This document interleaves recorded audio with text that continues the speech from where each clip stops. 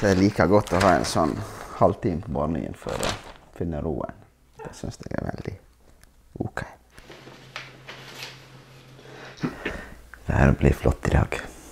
En perfekt dag, regner jeg med. Naturen og været bestemmer ofte hvordan arbeidsdagene til Hans vil bli.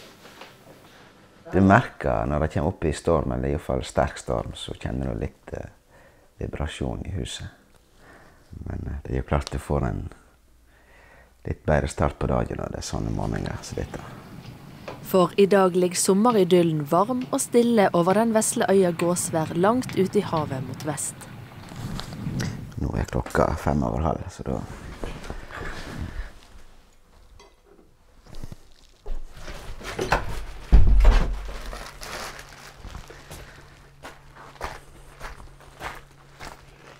Når det er sånt vær som dette, så er det veldig god luft. Du kjenner både blomster og gress. Og når det er stor fjære, så kommer det òg en spesiell lukt i lufta. Syns den er veldig fin. Hans og båten er svært viktige for folk i Solund.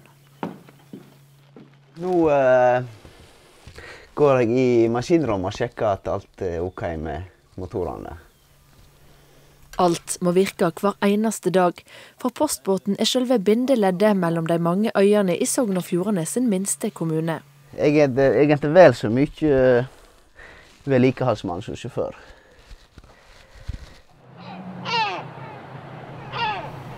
Øyriket ytst i Sognefjorden er også blitt et populært reisemål. Av og til kan det nesten bli trangt om plassen. I dag blir det en del folk, så da må vi ha litt ekstra stoler. Så starter vi motoren.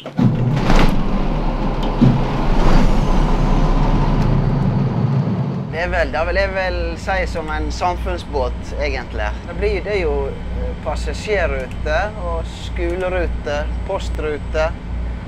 Vi kjører av og til blåturer, turistrute og ja. Til og med sauer fører vi. Så det hender vi har en 30-40 sauer bak på hekken her. Det er OK, da. Så lenge jeg slipper å skite ut hvitskjorta mi, så går det bra.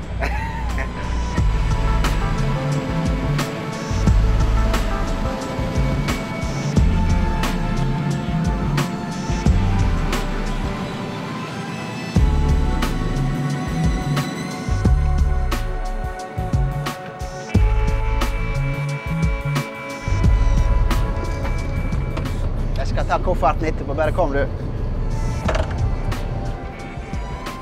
Greit, da. Ja, ha det bra. Da setter jeg veska di her ute. Det går bra.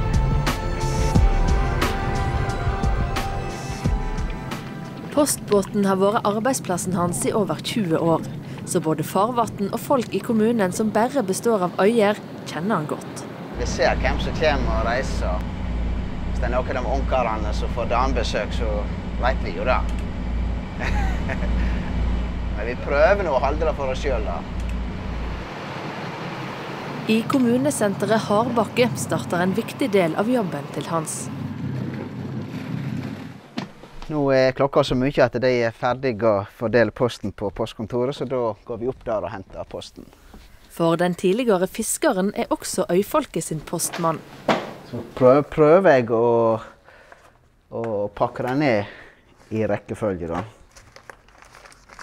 For hvert år blir det litt mindre post å sortere. Men om sommeren blir fraflytta øyer fylt opp av hyttefolk, og da blir det mer å gjøre. Posten er en del av høydepunktet for enkelte, spesielt eldre folk. De liker å få posten sin til rett tid.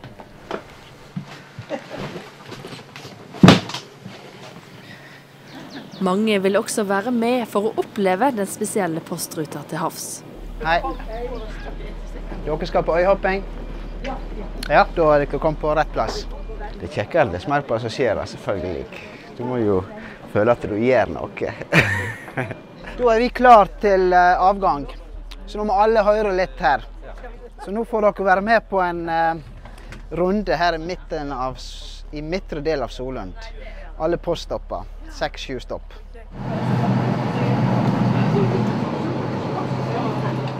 Det er en opplevelse. Du kommer jo veldig tett innpå inn på lokalbefolkningen. Med på en sånn.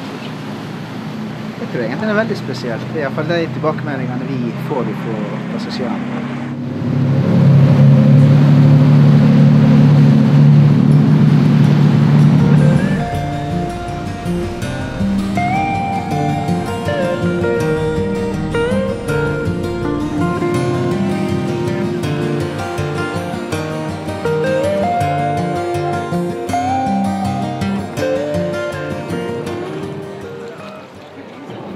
På av øyene får turistene oppleve dagliglivet på nært hold. Når han Roar er her og det passer sånn, så gjør vi det. Og vi har god tid. Nå er vi ganske godt i rute, så da prioriterer vi det.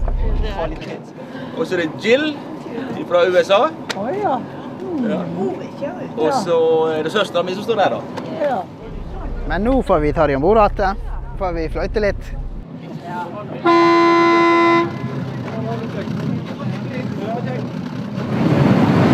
Ha det!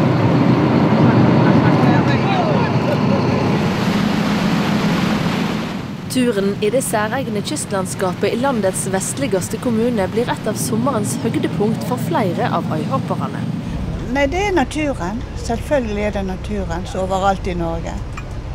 Og så er det eh, berg uten, uten skog på. Det har vi ikke der som jeg kom ifra. Eh, Jeg har tenkt å reise den turen i, flere år, så det bare ikke blitt. Så nå eh, reiste vi sammen. Vi har noen å dele opplevelsene med. Da er det mye kjekkere når vi kan snakke om det når vinteren setter til. Husker dere den dagen vi var i Solund? Hvor fint vær det var, hvor kjekt vi hadde det. Vestligste punktet i Norge. Vestligste, ja. Tenker på festligste ute.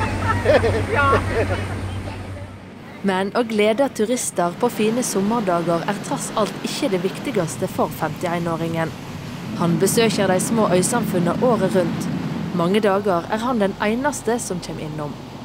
Alle kjenner alle, og det er klart du, du vet at folk bor alene. Og du blir jo selvfølgelig mistenksom hvis det ikke posten er henta en dag. Og du kanskje ikke ser det ryker pipa, så tar du gjerne telefonen til den det gjelder, og hører om hva som gjør at ikke posten er henta. Så her, her er Veirhardt. Her er postkassen innebygd. Ja, han gjør en god jobb, ja. Ja, det skal være given. Så eh, den dagen så Hvis ruta forsvinner, da eh, kan vi bare ligge sammen. Så dette er livsnerven Ja, det er det. Det er det. Det har vært det din tid.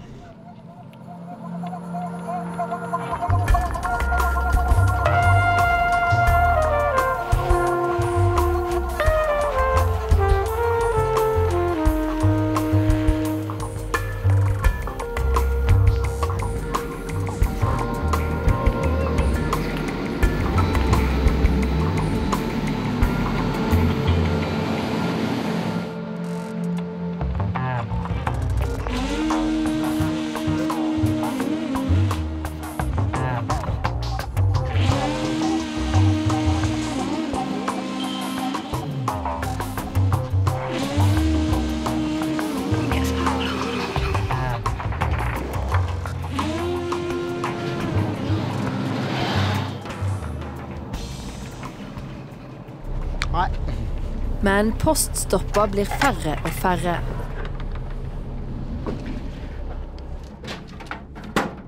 For på mange av øyene i Solund er det ikke lenger fastboende. Det minker veldig med folk på øyene. Det er noen øyer som kanskje vil fortsette å bo folk på, men veldig mange kommer til innen en tiårsperiode så blir det avfolka. Men det er liksom det er samfunnet som utvikler seg sånn. A4-mennesker vil ikke bo på sånne plasser. Så er det litt eh, vemodig, altså. Det, det synes jeg. Noen steder er det bare hyttefolk som venter på Hans og postbåten.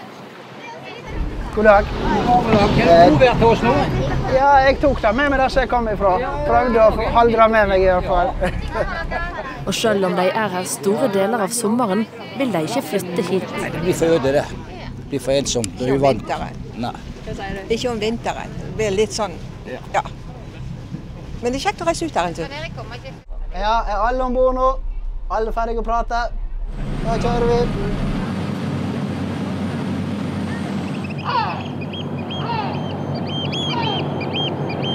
Det er tredje gangen jeg tar den turen. Og så er jeg oppvokst her. Og du er oppvokst Jeg er oppvokst på? Lågøy. Å ja, Ja, ja. akkurat. Men nå er jeg turist, da. Ja. Ja. Flere som har flytta fra Solund er med på turen i dag. For dem blir dette en nostalgisk rundreise i barndommens rike. Endelig får man lov å være turist. Før når vi bodde her, så bare jobbet vi. Og nå kan vi være turister. Det er vidunderlig. Hva de er Vakte. Du, det var sånne der eh, øyeblikk. Folk de eh, tiner veldig opp på sånne turer. Prater og på en måte man girer hverandre opp. Du føler at du gjør en god jobb når folk er fornøyde. De, de liker å reise med deg. Det syns jeg er veldig kjekt. Får gode tilbakemeldinger. Koser du deg òg? Ja, jeg gjør egentlig det. Så går turen mot slutten. Enormt stolt over Solund. Egentlig så høres det ut som jeg er fra Bergen, men det er ikke jeg. Jeg er fra Solund. det har vært fantastisk. Det har vært en drømmedag. Hvis ikke, hvis ikke så Vær så god. Åh. Må ikke sjarmere føreren, da går det galt. God ja. Også en lang arbeidsdag er snart over. Når du har eh, alle rutene, så er det ganske lange dager. Det er ikke så hardt fysisk, men eh, du blir trøtt i hodet. og Du kjenner det kommer stauer, så er det veldig lett å sige ned i stolen. Altså. Etter ti timer er det godt å komme hjem. Folk ute i distriktet det er nok eh, mer takknemlige enn andre plasser for at de har et tilbud som de får beholde og kan nytte. Men hvor lenge det er bruk for Hans og postbåten, det vet ingen. Ja, vi håper nå på at eh, det skal fortsatt gå en båt her i området. Hvis ikke så eh, blir det veldig fort folketomt.